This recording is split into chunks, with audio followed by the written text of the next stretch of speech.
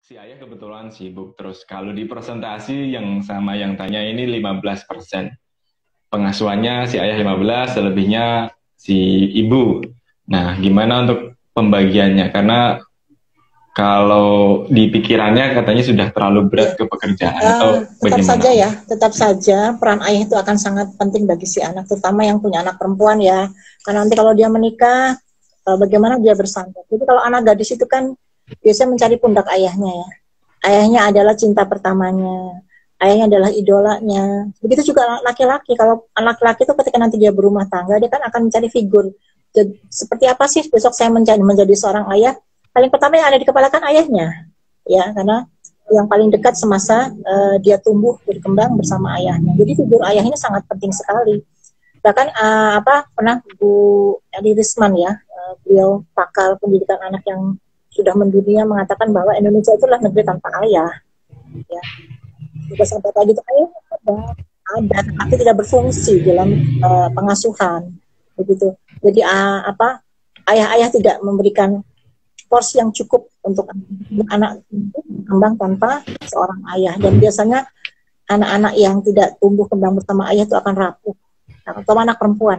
Anak perempuan uh, bagaimana dengan anak yatim lain lagi. Ya kalau anak yatim kemudian dia ditinggal oleh uh, apa ayahnya atas takdir Allah Allah akan menguatkan sang ibu biasanya.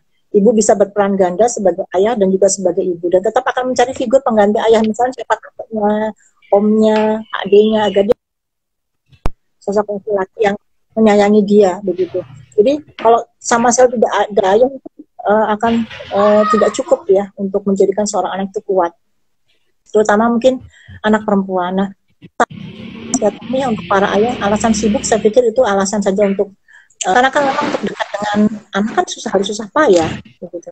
Jadi uh, uh, ibu yang ngatur deh, ibu yang ngatur ya. Ibu ini kan juga sebagai apa namanya sekretaris ayah ya, tahu betul jadwal ayah itu seperti apa padatnya. Terus bikin jadwal sampaikan kepada suami ayah, uh, apa mas sudah dua minggu oh uh, kita nggak main bersama. Coba deh hari ahad besok mancing sama anak-anak aku nggak ikut sama kamu aja gitu. Gimana cara supaya itu dekat? Kita yang atur mang. Jadi jangan lepas gitu aja jangan. Kita yang nuntut-nuntut misalnya uh, dari ayah begini mungkin kan sudah capek ya ayah ya. Kita yang atur kita yang atur. Ini saya begitu karena suami saya sibuk banget anak delapan ya kalau tidak ada ini sekarang buat jadwal. Kapan bertemu dengan ayahnya dalam bentuk forum forum tuh ngobrol tapi serius gitu kan. Bilang ayo siapa yang pengen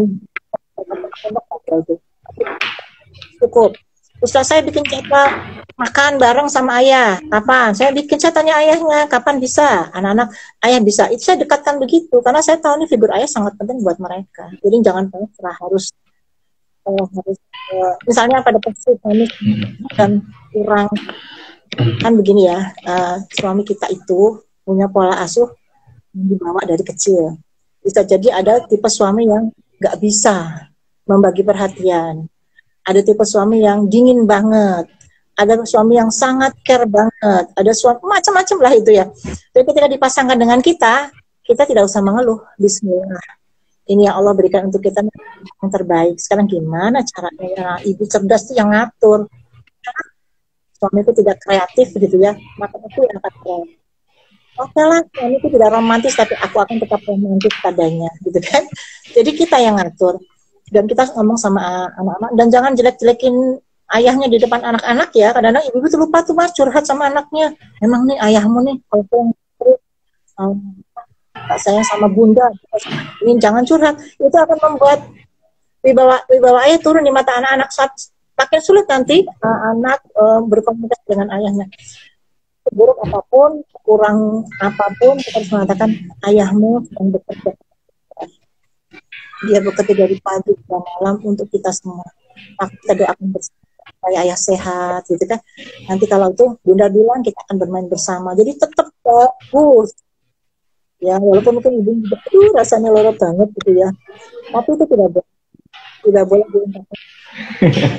itu seperti Hajar ya Ibrahim itu kan banyak sekali tuh hikmahnya kan tuh LDR-nya banget banget itu ya Nabi Ismail tumbuh seperti tanpa ayah tapi sebetulnya visi misi kepala di kepala Nabi apa uh, Nabi Ibrahim sudah diserahkan kepada apa Siti Hajar. Jadi betul asal tetap bagus. Di mana ayah? Ayah itu siapa? Dijelaskan. Ayahmu adalah seorang nabi, ayahmu adalah disebutkan kebaikan kehebatan. Nah, ketika ketemu balik udah gede gitu kan, lebih disembelih lagi kan. Tapi Ismail dia mengatakan kalau itu kata uh, perintah Allah maka lakukanlah ayah. Coba bayangkan. Nah, kalau sekarang kan, oh, bapak ninggalkan orang tak tinggal. Jadi begitu. Karena Mas ada forum yeah. uh, khusus untuk para ayah. Karena nanti ayah yang bicara mendengarkan ayah. Ayah hmm. tuh ayah. Yeah. Bisa harus. Iya, iya. Iya. Iya. Iya.